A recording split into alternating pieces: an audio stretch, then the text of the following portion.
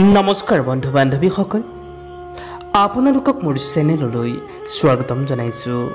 বন্ধু বান্ধৱীসকল জন্মাষ্টমী ৰাতি দুটি তুলসী পাতেৰে কৰক এই সহজ সৰল উপায়টি দেখিব চমৎকাৰ।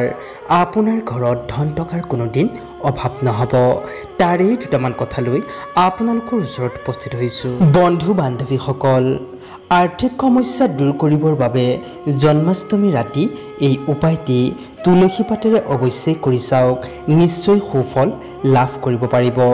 বন্ধু বান্ধৱীসকল শ্ৰীকৃষ্ণ জন্মাষ্টমীৰ দিনটিত উপবাসে থাকি বা উপবাস ৰাখিব নোৱাৰিলে নিৰামিষ ভোজন কৰি এই উপায়টি কৰিব পাৰিব। ৰাতি বাৰটাৰ আগত স্নান আদি কৰি শুদ্ধ বস্ত্ৰ পৰিধান কৰি হালধীয়া বস্ত্ৰ পৰিধান কৰিলে অতি উত্তম।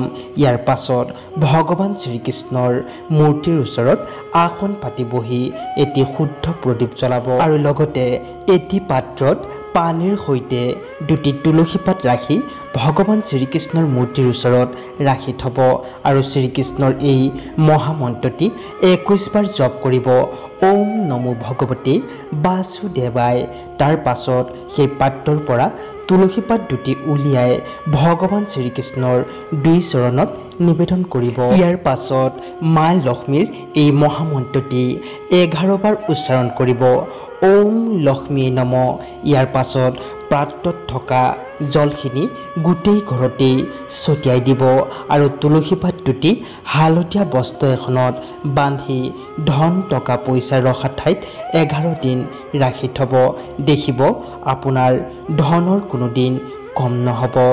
এঘাৰ দিনৰ পিছত সেই তুলসী পাত দুটি কোনো জলাশয়ত উটাই দিব। এই উপায়টি মনত শ্ৰদ্ধা আৰু ভক্তি ৰাখি যদি কৰিব পাৰে তেন্তে নিশ্চয় সুফল লাভ